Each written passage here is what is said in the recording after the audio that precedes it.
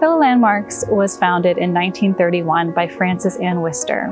She and her like-minded friends banded together to save the Powell House from demolition. It was slated to become a taxicab parking lot. They managed to raise about $30,000 at the height of the Great Depression to save the house and the house just next door. Throughout the years, Phila Landmarks has been an advocate for preservation in Philadelphia. We helped save the gates at the Woodlands, the old Franklin Institute, and helped stake out the lands for Independence National Historic Park.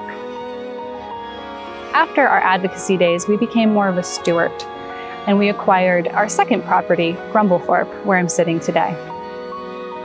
Grumblethorpe is Frances Ann's ancestral home. It was home of John Wister and his subsequent family generations afterwards. Then, in the 1960s, we acquired the Hill Physick House. The Hill Physick House was purchased by the Annenberg family, and they restored the house to its museum-like quality that you would see today. They gifted it to us in the 60s as it was originally to be knocked down for a gas station.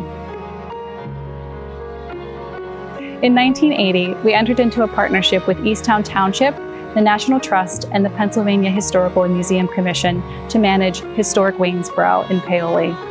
That is the ancestral home of General Mad Anthony Wayne, and we have been managing that property since the 80s.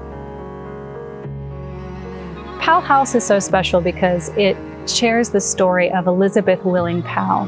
She is an incredible female figure of the 18th century and had the ear of the first president of the United States, George Washington. She also hosted a number of salons at her house, and she was known as intellectual of a man would ever be. So she was entertaining and um, conversing with the founding fathers at the Powell House. Grumblethorpe is very relevant today because of our education programs and the community outreach that we do here. It's also relevant because we're sitting in an urban farm.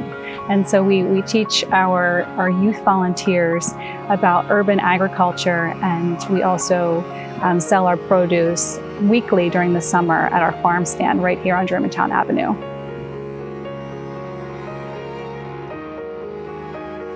We're so pleased to be the stewards of Historic Waynesborough, which is a National Historic Landmark and is the revolutionary home of General Mad Anthony Wayne. The Hill Physick House is a serene outdoor oasis in the heart of the city. We have a beautiful collection that boasts a 19th century decorative arts feel and highlights the lifestyle of Dr. Philip Syng Physick, who was considered the first chair of surgery at the University of Pennsylvania and is considered the father of American surgery. We believe that historic preservation illustrates the value of what endures in our society and that this inspires people to learn about history and engage with their community. We are committed to maintaining our properties and their collections for the long term so that they will remain public resources in the future. We want our properties to be open and well used by many different audiences in many different ways. We respect the uniqueness of each of our properties and believe that their different programs, priorities, and places in their communities create great value for Phila Landmarks and its visitors. We are thoughtful and foresighted stewards of the organization's resources and always encourage others to join us. In 2015, we completed the Hill Physick House roof project. We raised money through our newly founded fundraiser, the Wine and Beer fundraiser, which was spearheaded by the Hill Physick House Committee. And then we received a very generous grant from the William B. Dietrich Foundation in order to finish the project. Powell House Restoration Project was our second capital project that we've completed in the past few years. That project included putting on a new roof on the museum, repointing the brickwork, and wood restoration on the front facade and side. Here at Grumblethorpe, this is where we'll be doing our next capital project, which will include replacing both the museum roof and the tenant house roof, masonry repointing, and wood restoration. We also redid our historical garden beds where I'm sitting today. They highlight each generation of the Wister family and what they planted in their gardens.